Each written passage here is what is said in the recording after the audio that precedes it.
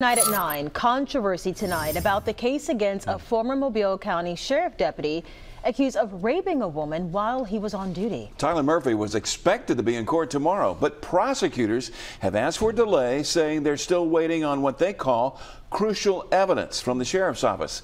Well, tonight, the sheriff's office says you've got it all.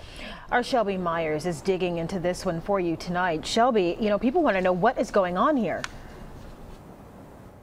Well, it's unclear right now, Lenise and Byron, but what is clear is that the Mobile County District Attorney's Office and the Sheriff's Office are at odds over evidence.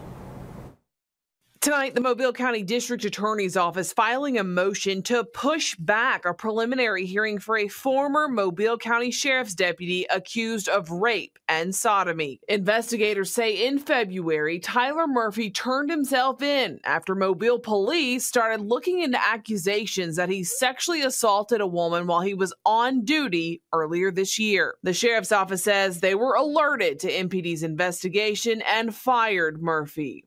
Murphy's preliminary hearing was supposed to be tomorrow, but according to these new court documents, the DA's office filed a motion to delay that hearing, saying it's still waiting for the sheriff's office to turn over, quote, crucial evidence. We do not have uh, the complete uh, documentation for our file yet. Uh, that's something that happens in a lot of cases, um, especially one uh, with you know a lot of moving parts to it. So you know that was a routine motion to continue.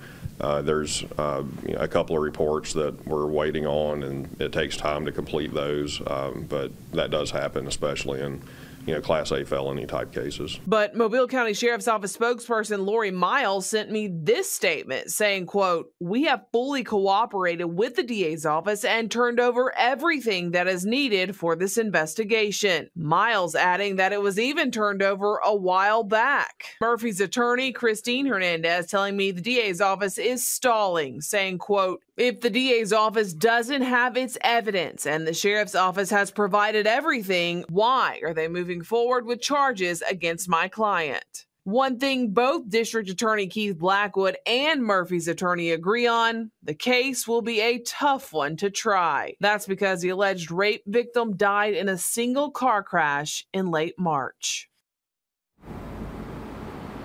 Now, that preliminary hearing has been reset for June 7th.